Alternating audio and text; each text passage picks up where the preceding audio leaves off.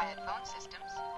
But you don't understand. What I'm going to need is some information on the H89 before the meeting. Any luck yet on my schematics for the doctor's group? No, the machine's still down. Morning, Dorothy. Any messages? Here, Howard. That was a message from an important customer. But you know, every interaction on the phone is important. Of course, some may seem more complicated than others. But the basic goal of any business telephone conversation is just one thing to communicate clearly. Excuse me. Good morning, Triad Phone Systems. Did you want sales or service? You want Scott Simpson. One moment, please. I'll connect you. Despite how complex this may seem, it's still just a telephone, and those of us in business rely on it every day, which is why it's so surprising how many people don't use the phone properly.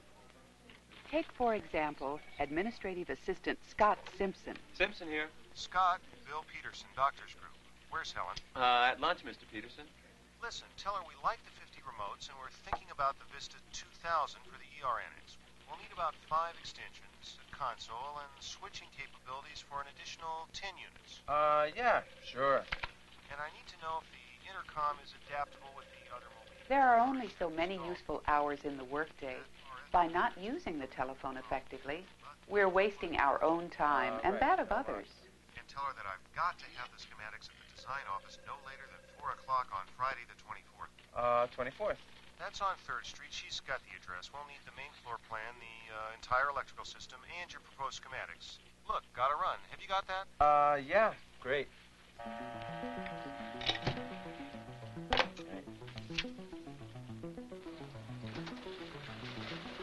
We all face lots of problems during the business day, and we all get frustrated. But as Carl Manning, production coordinator, is about to find out, a poor attitude can only make these problems worse. Yeah, this is Carl Manning. Oh, yes, I, I got your messages. Of course I was going to return your calls, but today is Friday and you guys. What? Another delay? But you guys promised me I'd have the new machine today. Hey, listen, you want to work with me on this? Good, good. Get a copier in here. Two weeks? What good is that going to do me? I've got schematics to get out this week. Finally, there's Executive Secretary Helen Stanley, who is about to return some phone calls. Doctor's Group. Yes, this is Helen Stanley, Mr. Burns' secretary at Triad Phone Systems. I'm returning Bill Peterson's call. Mr. Peterson is tied up right now. May I ask what this is in reference to? Um. Actually, I don't know. Could you hold on a minute, please? Putting someone on hold requires the same skill and courtesy as any other phone interaction. Dorothy? Uh, look, Scott left me this message. I can't make heads or tails of it. Could you find him for me, please? Thanks. I'll wait. If we are insensitive to someone who is waiting, we may project an unprofessional image of ourselves and our organization. Gone home? Great. Just great. Okay, thanks.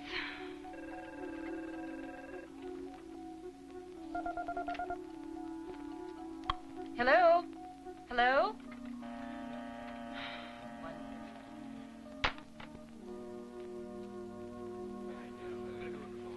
Think of it. Bill Peterson. Waiting over an hour and a half for us on Friday for a meeting that we called in the first place. Now, why wasn't I told it was rescheduled? In addition, they've been waiting for Carl's schematics for over three weeks now. Because we because we don't have a new copy machine? Well, what is going on here? And it isn't just the doctor's group account. Now, I don't, I don't understand. We've got a good team here. But we need to figure out what is going on and see what we can do to fix it. Now, think about it. That's all. So, ineffective use of the telephone can have important consequences loss of time. A poor attitude limits your effectiveness in dealing with other people, leading to a loss of productivity. And when you project an unprofessional image over the phone, That hits all of us where it hurts, with a loss of business. It isn't easy. Telephone skills require all the courtesy of dealing with people face to face. But when we have only our voices to represent us, we have to be especially aware of our actions. I know what you're saying, Dorothy. It's just that that telephone and I, we don't get along. All it does is bring me bad news. Then I get uptight and, well, you know, last week I wanted to take that thing and throw it out the window. It's just a telephone, Carl. You've got a good speaking voice. Why not let the phone work for you rather than against you? Yeah? Like how? Well, you know how you let the phone ring and ring and. But I can't answer it right away. Not all the time. I mean, work piles up. And then that ringing is just one more annoyance. Well, try to answer as soon as possible. That lets the caller know you're ready to do business. When you're uptight over the phone, it has a funny way of coming back at you. Hmm, you're telling me. I'd have gotten my new copier last week if I hadn't blown my stack.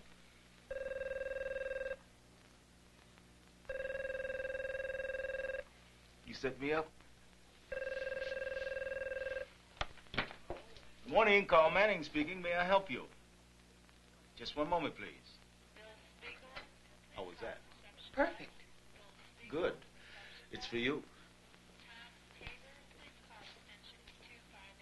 Dorothy speaking. Dorothy. Hi. Uh, did you take this message from Phone Tech? Whose name is in the box, Scott? Oh, right. Sorry. I sure wish I handled phone calls like you do. I can give you a few pointers if you're interested. Oh, sure. Right. Okay, shoot. Well, first you've got to listen carefully. Yes, ma'am. And second, question the caller. Ask for specifics. Well, what kind of specifics? Well, for instance, if the caller gives you a day, ask for a calendar date. Uh, don't think you know what the caller means. Ask to be sure. Right. And verify the information by reading it back. That way you prevent mistakes from being made in the first place. Okay. You said, listen carefully. Question the caller for specifics. And verify the information by reading it back. Scott, I think you've got the message. Triad Phone Systems. She's on another line. Would you care to hold? Thank you. Hi, Helen. Taking an early lunch? More like an early retirement. What's the problem? Oh, it's the doctor's group account. It's looking real iffy. I think I really blew it. Excuse me. Thank you for holding. She's still on the other line. Would you care to hold a little longer, or shall I have her return your call? Fine, thank you. Bye. Where are you going? Lunch is that way. Yes, but my telephone is that way. There's something I've left on hold a little too long. Bill Peterson. Bill? Helen. Listen, I still feel terrible about that mix-up last week. Is there any way we can make it up to you in the doctor's group? Well, frankly, we like your voice activated system, but we can't seem to find the money for it in the budget. Well, Bill, we may be in luck. They've just released a less expensive model. Would you mind holding on a moment while I round up a quote? Not at all. Great, thanks. Nobody likes being put on hold, but sometimes it's the most efficient thing to do. This is Scott. May I help you? Scott, do you have that K960 brochure? I've got Bill Peterson on the line. I think Howard was using it for the Jordan account. I'll find it and I'll bring it right in. If you can't You can minimize the annoyance by checking back, wanna be able to get reminding the caller that you haven't forgotten them.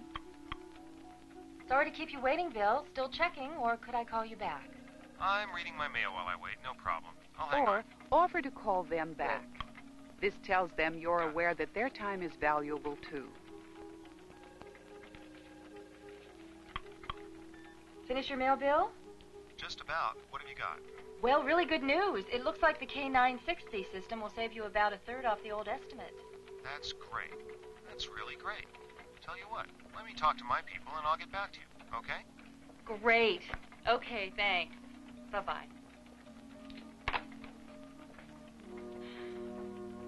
A good attitude can make all the difference, not just on incoming calls, but on outgoing calls as well. Be direct and to the point, but also be courteous. Crown Copiers. Bob speaking. Bob? Carl. How are you doing? Very well, thank you. Listen, um, I guess you heard I gave your shipping man a hard time. Yes, and I'm very sorry. Uh, but tell me, is there any chance of getting our new copier this week? Can't promise it, Carl, but I've got a new order in for you right now. Hey, I really appreciate your help. And I know you guys are swamped, too. When the person on the other end of the phone perceives you as an ally, your ability to help them and yourself is enhanced. That's great. That's great. I'll owe you. Howard? I... Howard? Howard Burns' office? No, I'm afraid he isn't in. Oh, hello, Mr. Peterson. Can I take a message? Sure, hang on a second. Okay, Mr. Peterson, I'm ready. When you take messages, both the message giver and the message receiver are depending on you. An accurate, concise message should include name of the caller, the company name, Doctors Group. reason for the call, Doctors Group has chosen Triad. the caller's telephone number, 555 3000. the time and date and day, and any special comments. Looking forward to working together. Hey, this is great news. Now let me verify this, Bill. Doctors Group has definitely chosen Triad. That's terrific. That's great news. Thanks. Bye. Helen, guess what? I heard. Congratulations, Scott.